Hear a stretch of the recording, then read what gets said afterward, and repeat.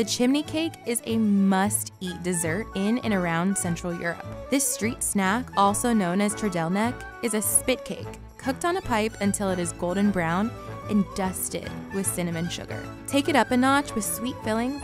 Ever heard of South African bunny chow? This fast food favorite is made with a loaf of hollowed out white bread and stuffed with curry. Trinidadians can't get enough of their classic doubles. This street food favorite is made with two barras, fried dough, and filled with curried chickpeas.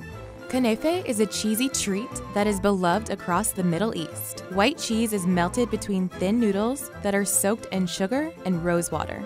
Scallion pancakes are made from dough, oil, and green onions. They are pan fried for the perfect crispy to chew ratio.